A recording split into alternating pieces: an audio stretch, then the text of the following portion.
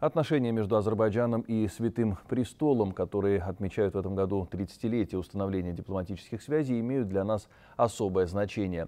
Об этом говорится в поздравительном письме президента Ильхама Алиева главе Римской католической церкви Франциску по случаю дня его коронации. Сохранение в Азербайджане религиозно-духовного разнообразия, в том числе наследия христианства, является одним из основных направлений государственной политики, отмечается в поздравительном послании. В то же время проекты, реализованные фондом Гейдара Алиева в Ватикане, они являются наглядным примером значения, придаваемого Азербайджаном сохранению всемирного культурного наследия, говорится в письме Ильхама Алиева папе римскому. Глава азербайджанского государства пожелал Франциску крепкого здоровья и успехов высшей духовной миссии во имя торжества идеалов гуманизма.